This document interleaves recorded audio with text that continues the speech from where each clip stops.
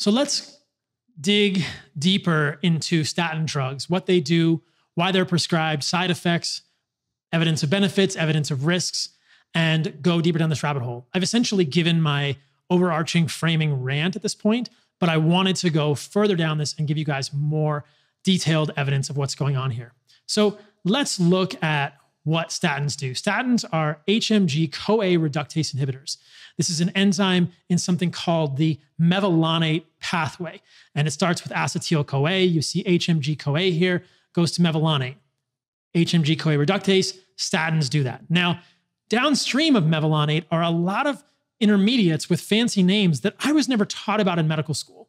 Isopentenyl, pyrophosphate, hmm, geranyl pyrophosphate, farnesyl pyrophosphate, squalene, and then a number of other steps to make cholesterol. It's important to note that cholesterol itself is a steroid molecule. It is a ring structure, not a fatty acid. Fatty acids in the form of triglycerides and cholesterol, a ring structure that is a precursor for the critical hormones in your body, are packaged into an LDL bus containing an ApoB particle, ApoB100 specifically, on the surface as a tag. It's a bus with a little tag on the window that says ApoB100. It has other apolipoproteins on it also that identifies it as an LDL particle. So statins interrupt that piece of human biochemistry. From the outset, we must ask ourselves is that human piece of biochemistry important? of course it is. There are other things made in the mevalonate pathway downstream from mevalonate that are critical for human health beyond cholesterol. But what I was taught about in medical school was just one coenzyme Q10. I'll come back to that.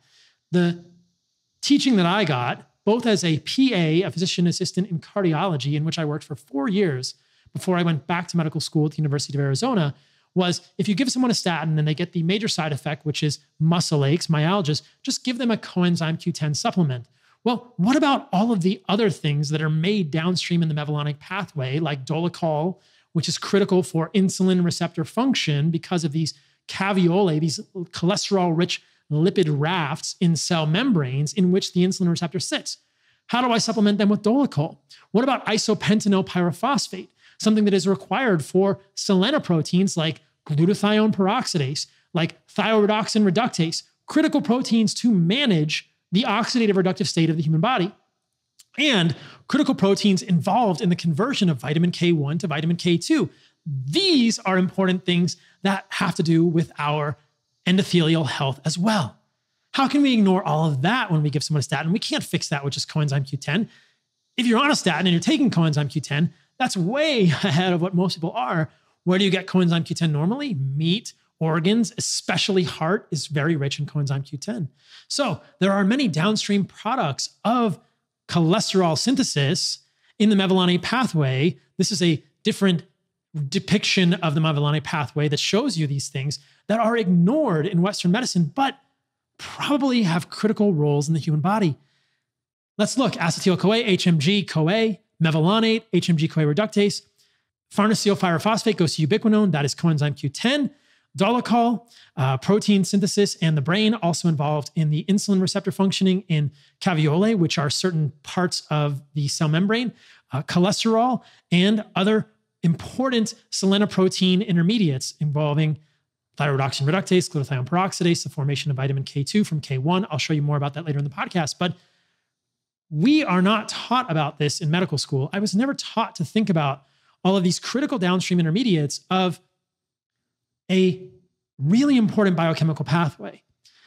So, more than anything with this podcast, with what I do in general, whether it's Instagram, Reels, TikTok, whatever, I want to teach you how to think for yourself. Many of you, if you're here, already know how to do that well. I want to challenge you to be curious about different things. Something that I was never challenged to think about in medical school that I've thought about a lot since medical school and residency was the human body has pretty elegant cascades of biochemistry, nutritional, biosynthesis. Are we really wise to go interrupting those with medications? Do we really want to do this? I would say no.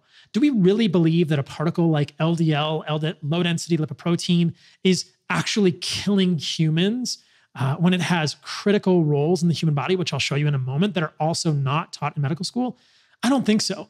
I don't believe that the human body was designed broken. Yes, there are a small number of people who sadly suffer genetic polymorphisms in utero and are born with genetic defects and are born with genetic challenges. But the majority of us are not in that state. The majority of us are reasonably well outfitted genetically from a biochemical standpoint and are going to determine our individual health, longevity, and quality of life based on what we eat. When I was in medical school, when I was working as a PA, when I practiced in residency and after medical and after residency, I was never challenged to ask patients what they thought was causing their illness. But what we always do is we give patients this get out of jail free card that says, this is a genetic problem. I have a genetic predisposition to heart disease. I have a genetic predisposition to high cholesterol. I have a genetic predisposition to thyroid issues. I have a genetic predisposition to high blood pressure. Therefore, there's nothing I can do about this. When in fact, I think this is the greatest lie that is being told within Western medicine today. We are cheating our patients and ourselves and our families out of the possibility of changing our lives positively by making lifestyle changes. Unless we do research that is aimed at understanding what the optimal human diet is, and believe me, we're trying to get that research going with the Animal Based Nutrition Research Foundation. You can find it at abnrf.org. We're working on a pilot study now with Stephan Van Vliet at Utah State University. Details are at abnrf.org. Unless we do that type of research, I don't think we will know how to equip physicians with dietary and nutritional recommendations.